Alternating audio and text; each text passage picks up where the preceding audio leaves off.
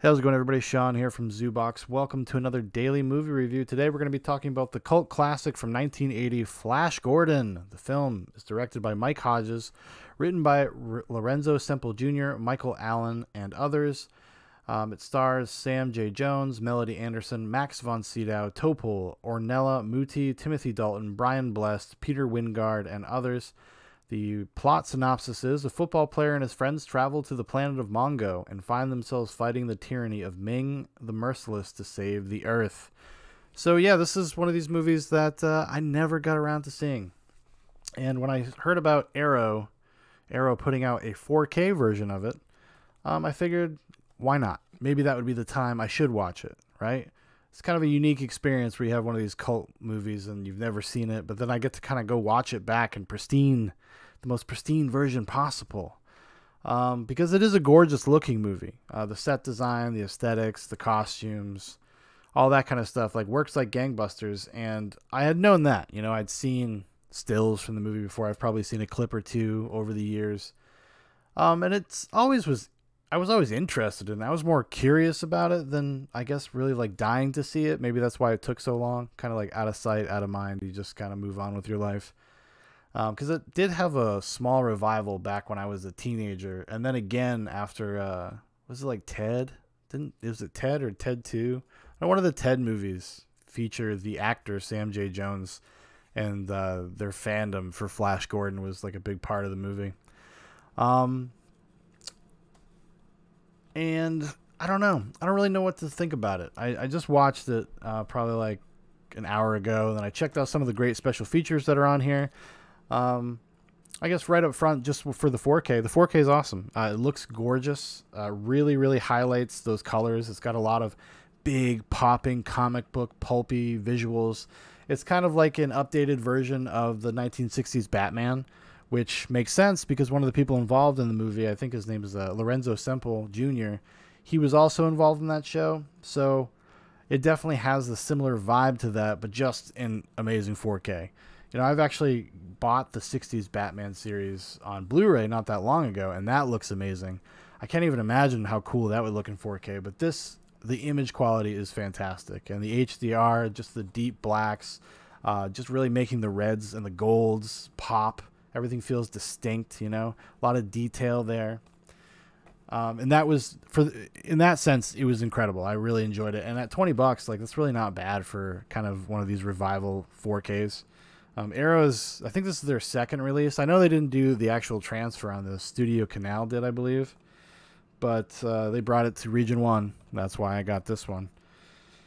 And there's tons of cool special features. It's pretty loaded. Um, even this is not like the super special edition. I know there's another one that has, I think it has a documentary about Sam J. Jones on it and some other stuff. And it comes with a bunch of paraphernalia but I didn't. I like like I said, I had never seen it before, so I wasn't gonna spend fifty bucks on that. So, but I was like, oh, the twenty dollar one, why not? Um, I checked out most of the special features except for the commentaries. I haven't gotten around to the commentaries. I don't think that the commentaries are new though. I think they're archival from whenever they released the special edition DVD like 15 years ago. But I'll probably I might get around to it. My feelings about the movie. Um, as a person that has zero nostalgia for it, had never seen it, didn't have much of an awareness of even what it was really about, other than just the basic plot. I know who Flash Gordon is, I know all about that, but I didn't know what the movie's representation of Flash Gordon would be and what the story would be like, and I was pretty underwhelmed. Um, it's a surprisingly boring movie.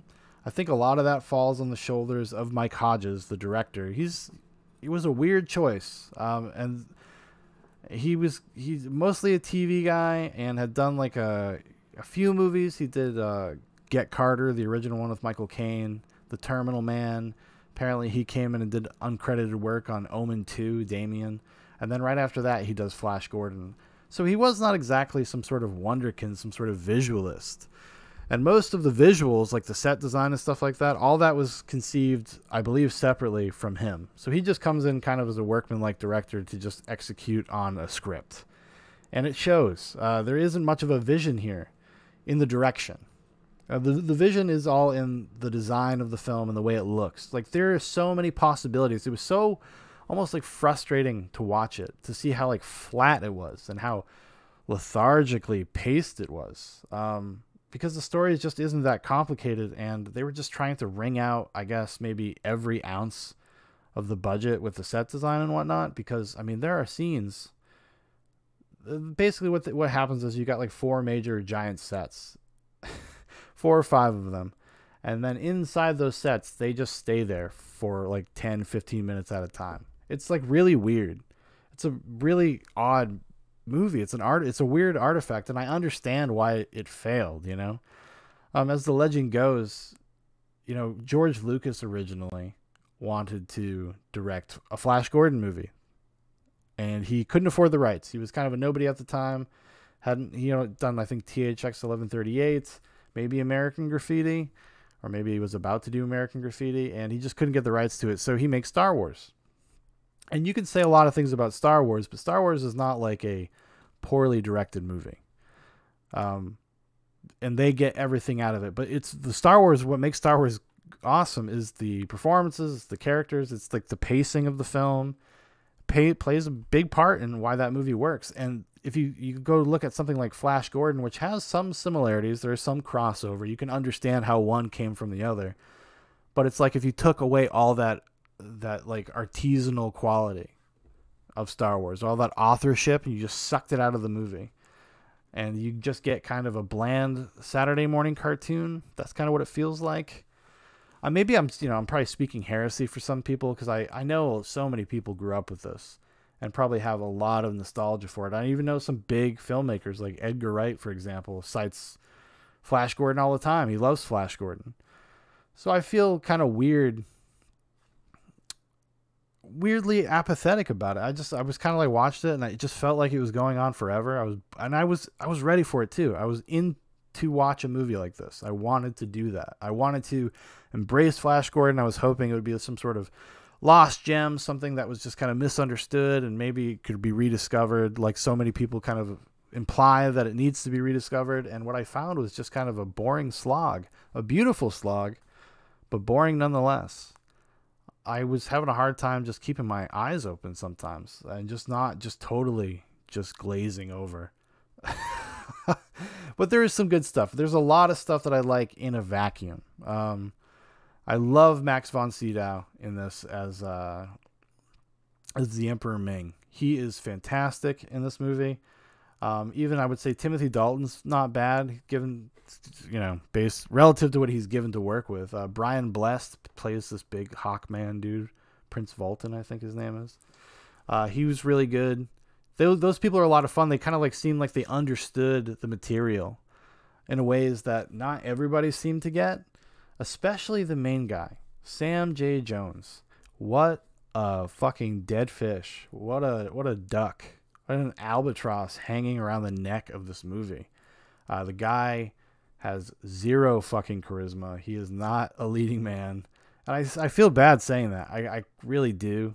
Honestly, it kind of hurts my heart a little bit to say that about a person, but he was so. I don't even one note. I don't even know if it rose to the level of one noteness. And I don't know if that's his fault or the director's fault. You know, because the character Flash Gordon is just this basic dude. He is basic hero man. He's an archetype. And it feel like when they went and they reworked the script, like they just maybe they were hoping that they were going to get an actor that would be like enigmatic or something to fill in the gaps because they give him like nothing interesting to do or work with. In fact, for a lot of the story, and this is another problem I just had with the movie in general, is that the heroes are kind of passengers because they're audience avatars. They're they're in they've come to this world Mongo and they're discovering everything. So they're being just spoken at a lot, or they witness things a lot, or they have something explained to them a lot, and it doesn't doesn't do anything to invest you in them or even their arcs. They have kind of no arcs. Uh, they f- feel like they're the same people at the end of the story as the beginning of the story. The, there's a romance between uh, Flash and Dane. Was what's her name? Dale. Dale Arden. And it's just goes nowhere. Uh, I don't understand at all, and even giving over to the the fact that it's like a cartoon, it's like a comic book or whatever. Even with that in mind, it's still just I don't understand what the fuck was going on. Is there something on the cutting room floor? Is there some sort of master cut of Flash Gordon that that contains all the hidden scenes that would have made those things play out better and make sense? I don't know, you know. And it's weird because I like I I don't I have an affinity for movies of this era and even movies that are kind of failures that don't work a ton. I talked about a while ago another movie that came out within this time period was Krull. And Krull is another movie that's like a fantastical world and it's kind of like a Star Wars esque thing. It was definitely put into production because of the success of Star Wars, just like Flash Gordon. And that just had a little bit more going for it. There was something more charming about like the actors involved and uh and the direction was a little more authored. It felt a little bit more present. This just feels like a really big budget like tv movie but it just lacks so much creativity there's no creativity in the direction. And i'm telling you that's what fucking sinks the movie. There are so many crazy cool things going on in flash gordon and it couldn't be more boring. I was like i'm shocked I'm sitting there in my living room and I'm staring at the screen and it's all beautiful and I am stunned. I am stunned at how bored I am and how little investment I have on in anything that's going on. It took a lot for me not to like pick up my phone or flip open the laptop because uh, I just could not engage. I just could not get invested. I don't even think this is something that I would grow on me, to be honest with you. I don't know like how I will like I yeah, I'll probably watch it again. I might give those give the the uh, the commentary with the director a spin. I love doing that when I watch a movie I don't like and I own it and there's a commentary on it. I dive right in. I want answers, you know, and I want it straight from the horse's mouth. Like, why did you make these decisions? What led you down this road? It's even better though sometimes when you watch a bad movie with an audio commentary if the if the if the commentary was recorded before the movie was released so they don't know what like the critical or audience reception is to the movie and they're just completely oblivious and they're talking talking about like they've just made like Citizen Kane like they've just made Stalker. It's always fun. Uh, what's his name? That you know that guy Uwe Boll he's got some great commentaries. I think you know he doesn't care if he's critically reviled or not, but they're a lot of fun. He's just he's like always he's always always about to tell people to go fuck themselves. Oh, you think this is stupid? Go fuck yourself. And um, so I I'm curious. I'm curious what Mike Hodges has to say. I doubt he's going to be very real about the movie or the challenges of making the movie, the circumstances, because it has become a cult classic, and there's a lot of people like I said, that are big in the industry that really like it. You know? I mean, you got to take it for what it is. Like I said, I don't have nostalgia. If I maybe had seen this when I was 10, maybe I would feel differently about it. But I didn't. I was watching it with my wife, and we were like, it was like, oh man, this would have been a great movie to watch when you're like stoned. You know, if you got like an edible and watched Flash Gordon, then maybe it would be an interesting movie. Because it's too bad too, because there's so many things about it that I did actually appreciate and I liked. Uh, mostly to do with the visual design. I just wish they did something dynamic with this stuff. I mean, fuck, move a camera, do a dolly shot for Christ's, sake, Christ's sakes. I mean, come on, Hodges, move that fucking camera. Everything is locked off. It's just these plain shot, reverse shot scenes. There is not a lot of interesting dynamic movement or anything and they have all this gorgeous sets to, to use. I don't know if that was a functional thing like maybe because of special effects lighting whatever maybe it would have been too hard maybe they had a tight schedule i'm not sure. Um, or maybe they were trying to recreate the look of the comic book or something but jesus man it's not even a dutch angle if you're trying to do a comic book. But really really underwhelmed by it I am, uh, and I'm sorry. I'm sorry, everybody. I know that there's going to be people that find this maybe this week, a year from now. They're going to be like, go, fuck this dude. Fuck this dude doesn't like Flash Gordon. Motherfucker talking shit about Mike Hodges, my fucking main man. I think The Omen 2 is great. What the fuck is your problem? I'm sorry. I think that guy let this material down, and it's an interesting. Flash Gordon has an interesting uh, production history, actually. Um, one of the people that was going to, that had worked on a version of this movie. I'll look his name up real quick. Well, I know his name is Nicolas Roeg, and he most famously directed uh, The Witches. He directed uh, this movie called Bad Timing, Don't Look Now, um, The Man Who Fell to Earth with David Bowie, and they were gonna do. He wanted to do kind of a more serious, kind of dark dystopian version of Flash Gordon. Uh, he wanted to do like a serious sci-fi movie. And let me. When did he direct The Man Who Fell to Earth? That's what we got. That's what we got. The Man Who Fell to Earth came out in 1976. So this would have been his follow-up to Man, The Man Who Fell to Earth, and that movie is very much a hard sci-fi. It's about an alien who comes to Earth and try, kind of like discovers the nature of humanity. It's it is what it is. It's a it's an okay movie. It's not one of my favorites, but he's a much more serious-minded director. But they did like I I think for a while, maybe a year, year and a half of pre-production stuff and um, concept art and scripts and all that kind of stuff while waiting to try to get the movie into pr- production. And the producer for the movie is Dino De Laurentiis, who has produced a ton of, oh, ton of my favorite movies, honestly, um, especially in the 80s and the 90s. I know he did, uh, what does he do? He did Total Recall. I'm gonna blank because now I've now I've I've invoked his name. Dino De Laurentiis. Let's see. What is film? Yeah. Maximum Overdrive. He just did a lot of genre stuff back in the day. Um, the Dead Zone, Firestarter, Conan the Destroyer, Conan the Barbarian. Yeah, he's got a lot of stuff like that in his uh, Army of Darkness. I mean, come on, baby. Dune.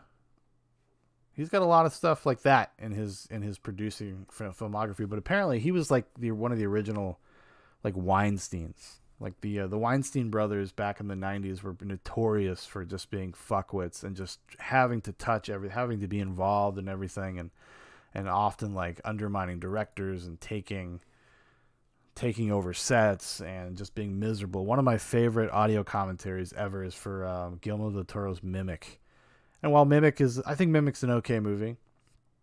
Uh, the commentary is great because he had a clash with the Weinstein's and he just kind of goes for it. Like he doesn't hold anything back in the commentary. He did the commentary like way after the fact. It was for like an anniversary, maybe like the 15th anniversary of Mimic or something like that. And he just he just lets him have it, and he's like, "Fuck the Weinstein's." but Dino De Laurentiis was like that, and he was constantly interfering and constantly being like, "There needs to be more jokes. There needs to be more jokes." He's an Italian guy. That's my great Italian accent. Um, and he was just constantly undermining the kind of vision of the film. And actually, one of the better special features on here is kind of a little mini doc. It's like 26 minutes long. Uh, has the original writer, some of the special effects guys, some of the concept art guys, and they just kind of talk about uh, the movie that didn't get made.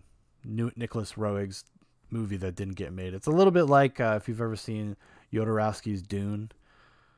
Alejandro Jodorowsky was the director of what is it, uh, the White Mountain, El Topo, among others. Uh, La Sangria, kind of a cult art director. He was going to do a version of Dune, and there's a feature length movie that goes into what his intentions were for Dune. So it's kind of got a little bit, little bit of that flavor. This kind of lost movie that was never never finished, but there was a huge kind of production bible about what their intentions were for the movie.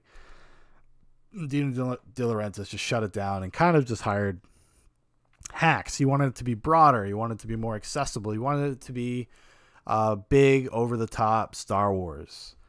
Um, because the reason why Dino De Laurentiis buys the rights to Flash Gordon is because Star Wars is successful. That's why. and he had the money to do so, so he went and grabbed it. Um, and I, I don't know, you know, it's one of these things you can't say in hindsight like whether that direction would have been better, but at least I know about Nicolas Roeg is that he does have a point of view. He has a vision for what he wants to put up on screen. Mike Hodges is the most one of the most workmanlike directors and not the good way. You know, oftentimes I'll say things about workman like directors, and I'll be like, but you know, they're good. I like their movies. Uh, John Boorman comes to mind. You know, Point Blank, Hell in the Pacific, Excalibur, Zardoz.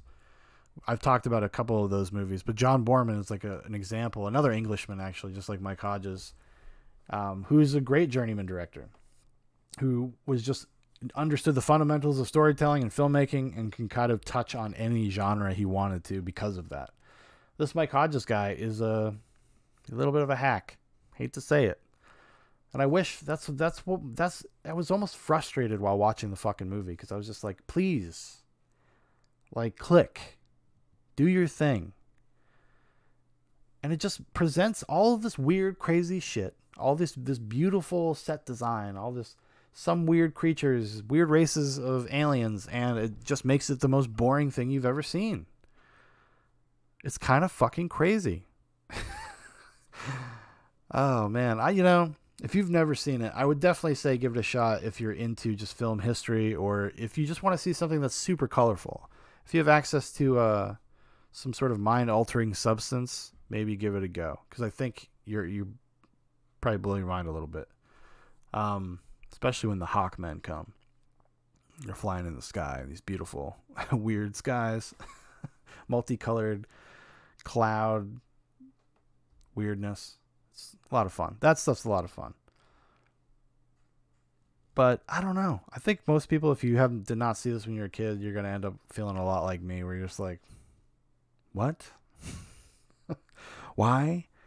So you can understand what it's trying to do, and it just never does it. That's it's just wildly frustrating in that way. Probably one of the more frustrating things I've watched in a while. But I'll say this. This 4K is gorgeous. Like I said up front, it is one of the better looking 4Ks of um, kind of one of these cult films that has come out. And they did a really great job on the transfer. Obviously, a lot of love and attention put into it, and it looks gorgeous. It's Flash Gordon has never looked better, everybody. Um, not that I think it ever really looked terrible as far as I've ever seen. I mean, I've seen clips of this movie and it always looked interesting. So I don't know. I don't know. If you got the the DVD or whatever, maybe don't upgrade. maybe save save the twenty bucks. Be smart. Don't be like me. I'm an awful monster. All right, everybody. Thank you so much for watching. Thank you so much for listening if you'd like to know more about Zoobox, you want to check out everything that goes on with Zoobox and Zoobox Nation, there's a bunch of links in the description for Facebook, for Instagram, for my personal Twitter. Also, Dan's Twitter's on there now. Also, if you would like to make a recommendation for one of these daily videos, or if you just want to tell me off, throw it down in the comments. I'll put it on the list and I'll read your comment. I'll do it. It'll happen. I promise. We're not that big. Goodbye.